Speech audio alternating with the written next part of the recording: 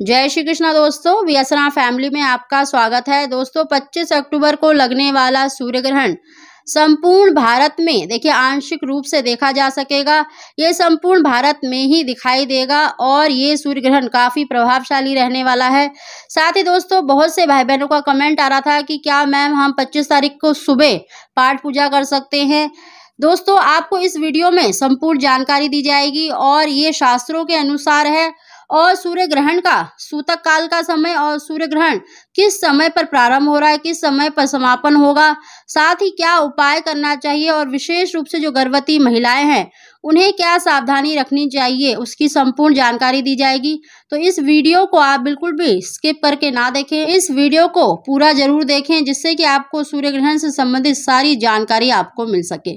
उससे पहले दोस्तों, अगर अभी तक आपने मेरा चैनल सब्सक्राइब नहीं कर रखा तो सब्सक्राइब ज़रूर कर लें, बगल में बेलाइकन को भी दबा दें, जिससे मेरी आने वाली सभी लेटेस्ट वीडियो का नोटिफिकेशन सबसे पहले आप तक पहुँच सके। दोस्तों 25 अक्टूबर को लगने वाला सूर्य ग्रहण भारत में दिखाई देने वाला पहला सूर्य और आखिरी सूर्य ग्रहण होगा।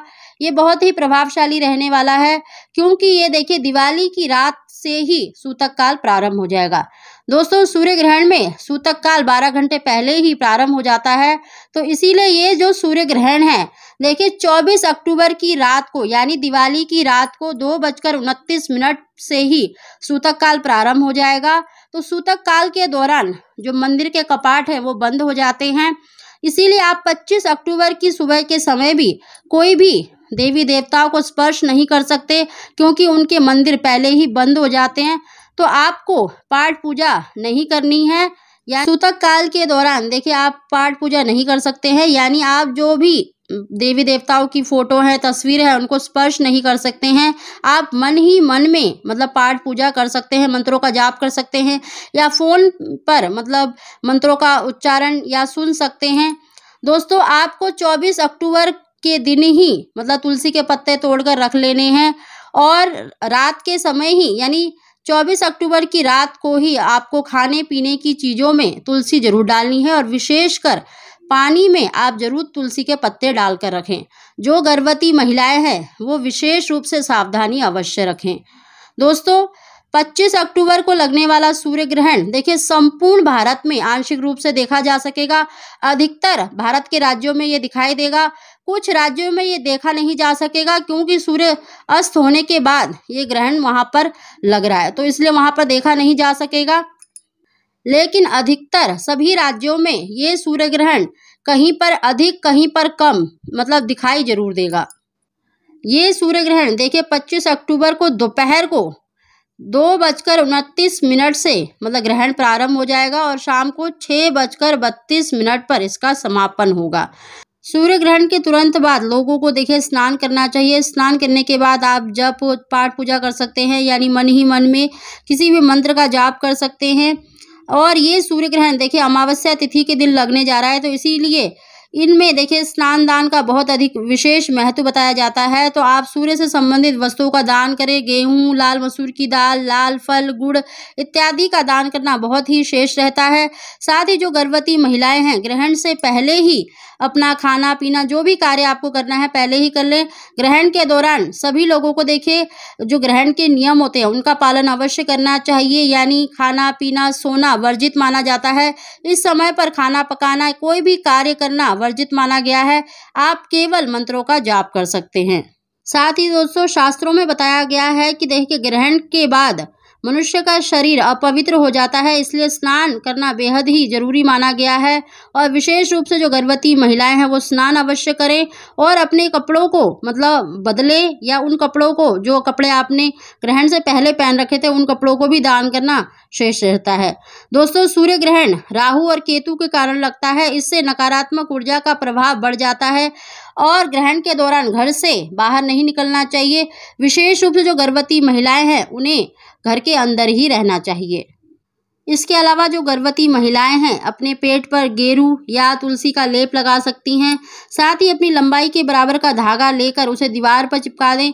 जिससे कि अगर ग्रहण के दौरान भूल चूक से अगर आप कुछ खा लेते हैं या कोई गलती कर बैठते हैं तो उसका प्रभाव आपके होने वाले बच्चे पर नहीं पड़ता है।